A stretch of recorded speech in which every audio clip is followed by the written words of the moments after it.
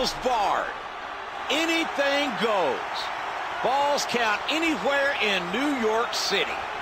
And Mankind's done a lot of controversial things, but this may be professional suicide. But now if Mankind wins, does he get to keep both titles for himself? How the hell should I know?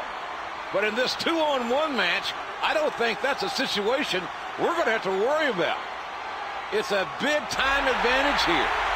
And in the wars that Mankind has been in this summer, you have to wonder if he's got all his faculties. I don't think he ever had them. Missed him. Oh, no. He's got a sledge. Oh, that sledgehammer landing again. Oh, this is brutal. That sledgehammer is a deadly weapon. You gotta be kidding me. He's still not through. Oh, did you see the neck snap back? Oh, man, that sledgehammer is so devastating. Man, I think something snapped inside that brain.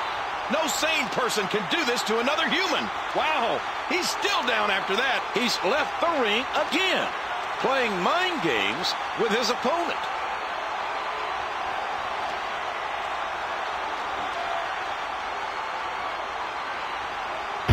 Got a metal chair in the ring. That's dangerous. Once again with the chair. Driving that chair into him again. Well, there's no sportsmanlike conduct going on right now.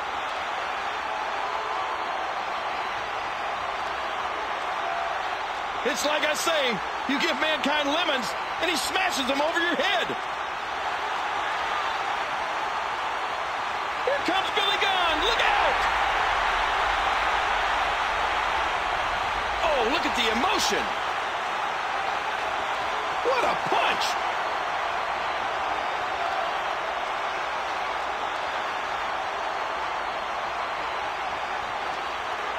Now back into the ring. Oh, that elbow's gotta hurt. What's this? That's it. He's done. Mankind's in trouble and a nicely executed fall-away slam.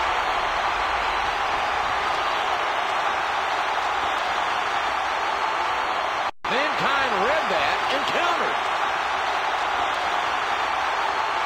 He's able to make a tag. Two times the pain on that one. Quick tag there.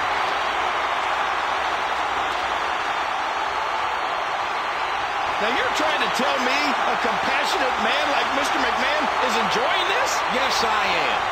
And I'm not blaming the Outlaws. Hey, they signed for a tag team match. They're here to take care of Gunn.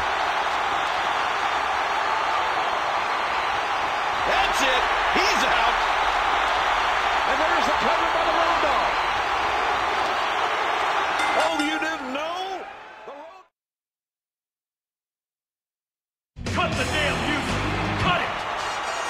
Your new WWE Tag Team Champions of the World. The Road Dogg Jesse James. The Badass